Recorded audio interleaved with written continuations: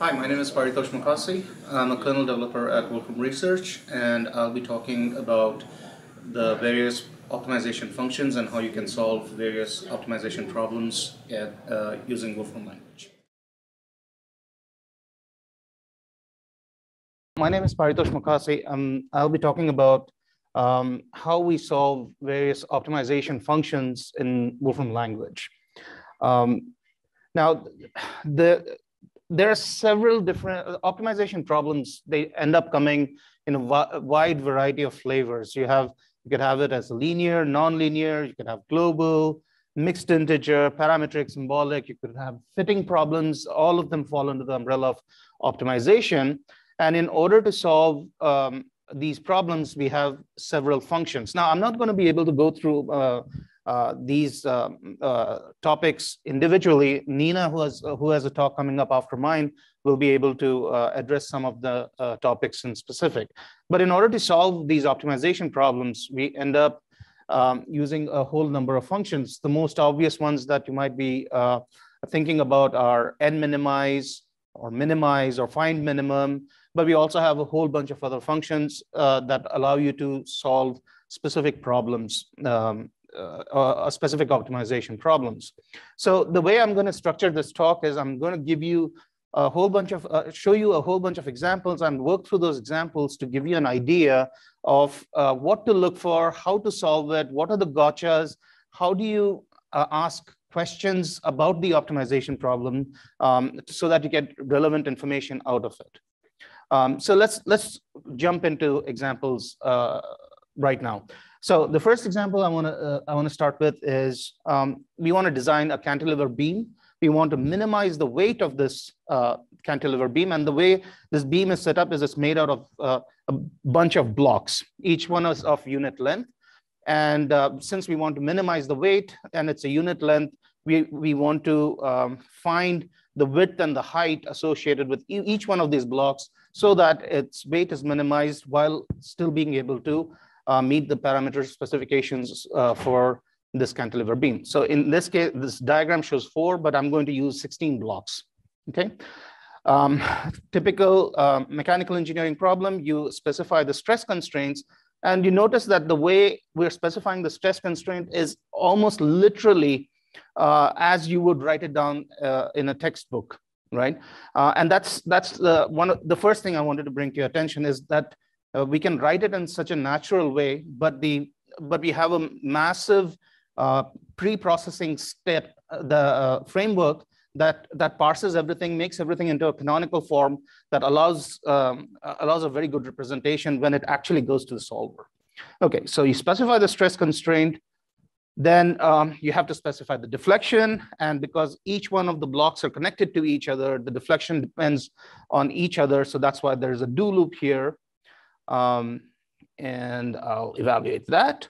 And of course, the deflection at the end of it shouldn't go beyond a certain value, which is y max, which we'll define a little later. And we'll also specify that the width and the height cannot be, um, uh, has to be within a certain range. So that kind of blocks the problem in.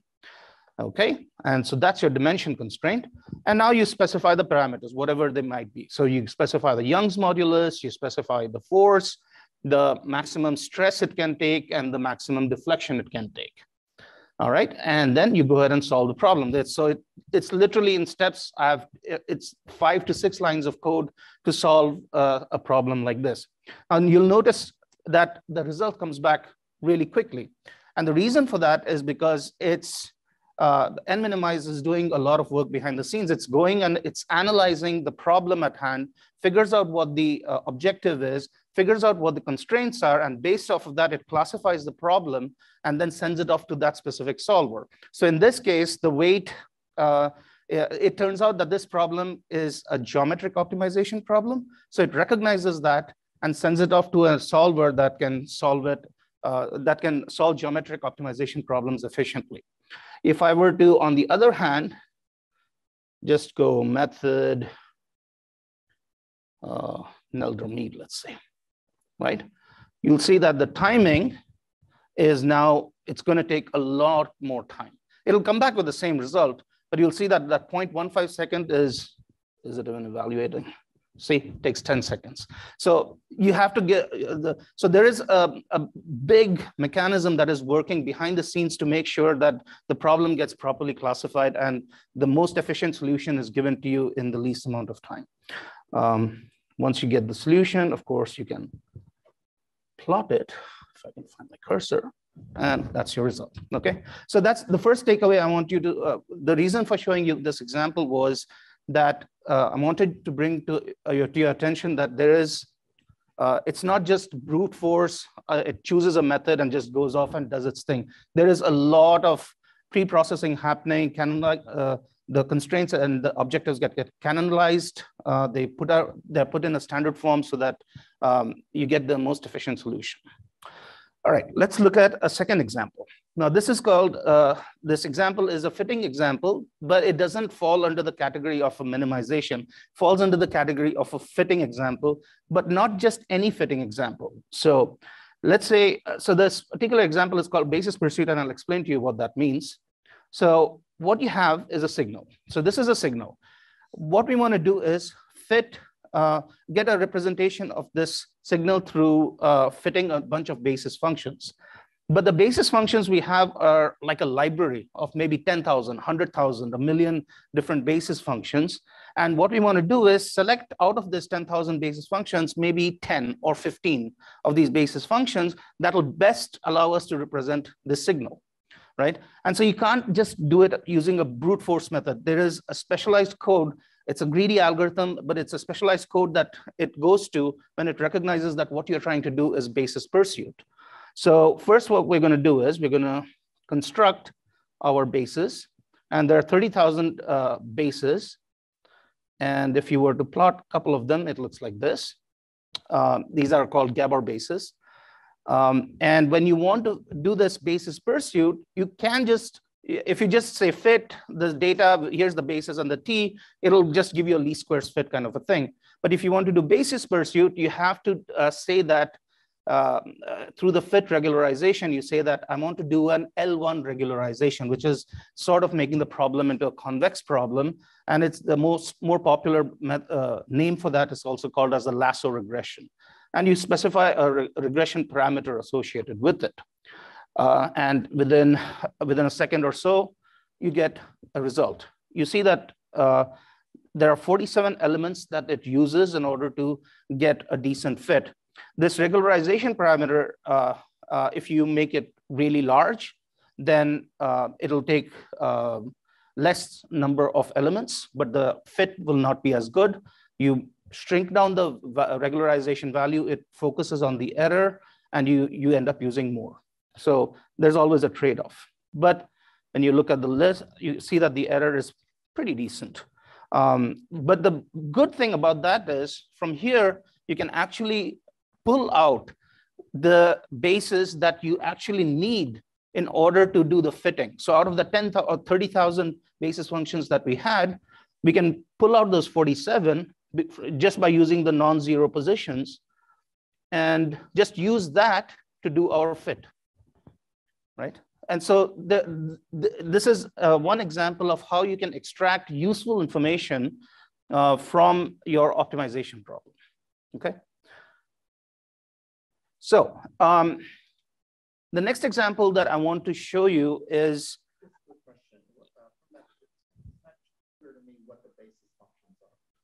they are part of that uh, uh, library of Gabor functions that I created early on. There were like 30,000 of them, uh, which were these.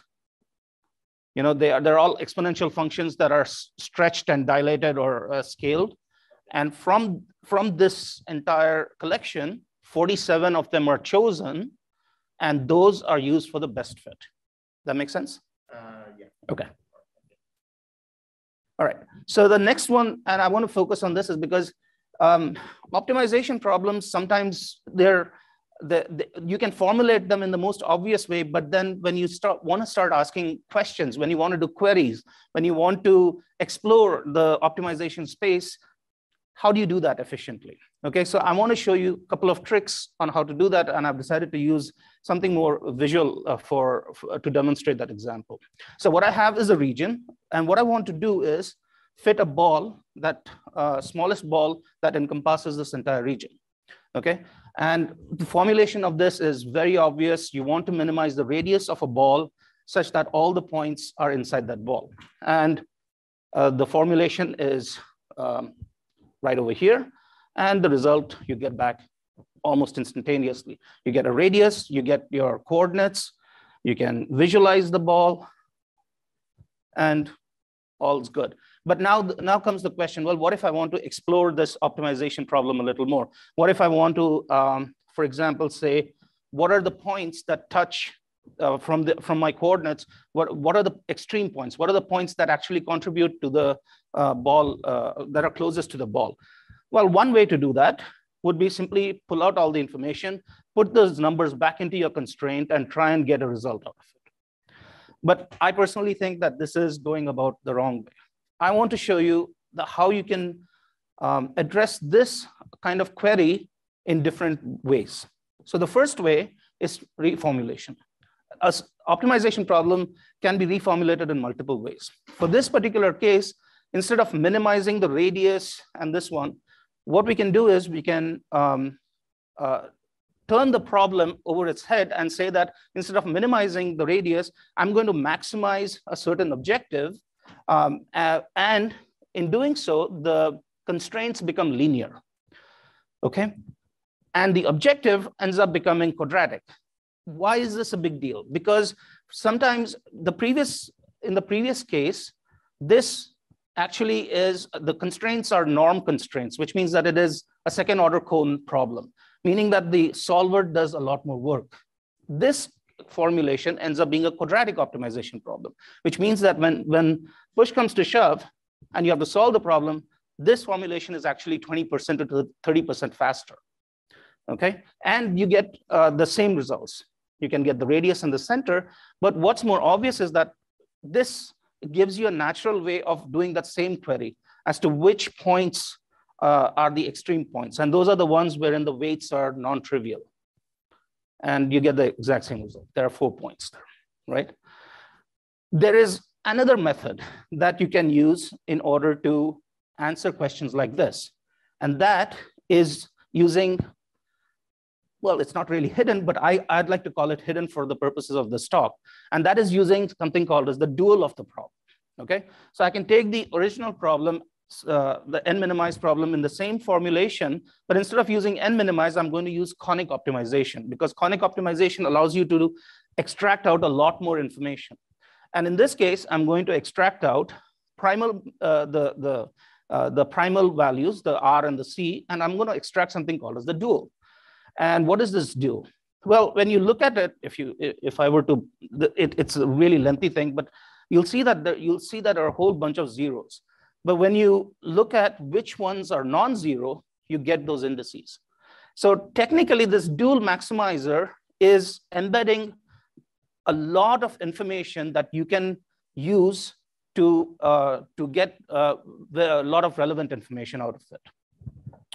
So you can now visualize the same thing and you, those are the points, you know, those are the extreme points. There are two points on the side and there are two at the bottom right there, right? And now, if, you, if you're in the field of optimization, then something like the word dual of a problem uh, might seem obvious, but uh, it's most often not. Uh, dual is one of those cryptic, cryptic things that, that people either they, they tend to avoid or you know, they just uh, ignore it. Um, so uh, let me just explain to you uh, what a dual is. So when you when you put an uh, optimization problem together, it is generally of this form. You have an objective, you have some constraints. What you generally do, and this is what happens at the solver level, right? You generally end up making uh, uh, constructing what is called as a Lagrangian. So you take all your constraints, you uh, apply them with these Lagrange multipliers, you put them together, and then you you solve that one big problem. The dual part comes in wherein you take some certain limits on the on the on this x, and what you end up with is a new optimization problem. It's uh, that that depends only on these Lagrange multipliers. That's why it's called the dual Lagrangian formulation, and this acts so you end up with a completely new optimization problem, but that optimization problem is complement to the original one. And when you solve this uh, dual problem, you realize that you, you're getting um, some really good information. So let me show you what I mean by that. Let's take another geometry example. So this is a problem. I have two convex polygons. They're non-intersecting. The, the optimization problem is I have these two po uh, polygons. I want to find the line that divides them uh, together. That uh, the, the line that separates these two convex uh, polygons. So I'm going to set this up. So the natural way to look at it is I have two polygons, find the nearest point, uh, find two points, one that lies on each one of these polygons. And the nearest point when you join them, the perpendicular line becomes the, um, uh, the, the hyperplane. So you can just put that in, in conic optimization and you get the result. So you get two points and there is an epigraph transformation happening. That's not, that's not uh, important. Um, so, but you, you end up getting two points. But you can, in order to get the, the separating hyperplane, you can extract that information, out. you can do it manually, or you can extract it from the dual. And the way you do that is you get the dual information and you look at the constraint, so, uh, uh, the constraint that deals with this one specific, which happens to be the norm constraint. And you notice that the norm constraint has this dual. And the hyperplane needs two pieces of information. It needs a point and it need, needs a normal. This dual actually provides you with that normal information. And so you can just extract that information from the dual and there's your answer, right? The tricky part is understanding the dual, and this is what I want to emphasize. But if you, if you master how to represent and read what the dual is, you have a very powerful tool at your hands. All right, so let's switch gear. I'm running a little out of time, but uh, I'll try to try, try to speed it up. The next problem I want to talk about is optimization with uncertainty. So let's say that you have a convex optimization problem, very simple one. You have bounds and you want to minimize it, you get the result. But what if you're not sure whether this one is actually a one? There might be a noise associated with it. Maybe it's 1.1, maybe it's 1.01. You don't know what it is. What you know is that there's noise associated with it. So the question is, how do you solve problems wherein the constraints are uncertain, right? So this again does not fit inside the narrative of your typical and minimize um, uh, problem. One approach would be to, uh, to account for these uncertainties and generate like a large table of constraints which account for this uncertainty right? Uh, with all various permutations and combinations. For this case, it's a very simple problem. Uh, it might not be that bad, but, and you can solve the problem. And instead of that one, one, you now say, taking all the uncertainty account, the best possible result you should be able to get that will satisfy this uh, uncertainty will be 0.9, 0.9. But this approach that I just demonstrated is horribly inefficient and uh, will choke uh, your computer uh, for anything but, but the most trivial problem. The, the good way, the better way to do that is using a function called robust convex optimization. So let me demonstrate that with one example. So you have um, you have uh, input and the output is uh, is uncertain. I want to fit a cubic polynomial to it, and my output has some noise alpha, which ranges from negative one, uh, negative 0.1 to 0.1. I set it up in a robust convex optimization. I get the coefficients for that. And I get, in this case, I'm generating what is called as an envelope that associated with this, uh, with this uncertainty. And the black line is the result you would get taking all these uncertainties into account. Okay, this is, this is just one simple example. I'm almost, I'm actually over time. So I was going to give you a sneak peek on something called as multi-objective optimization, which is not in the kernel. It's something currently that uh, we are working on, and uh, hopefully it'll be there in the, in the future releases. Um, but I will leave you with a pretty picture. Thank you.